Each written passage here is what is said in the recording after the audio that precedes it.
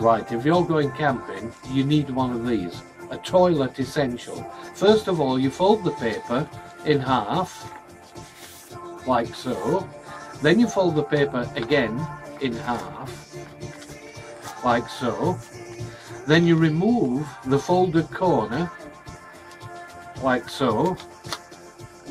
And that's your camping paper. Open it out, put your finger through the middle, and you can now wipe your bottom.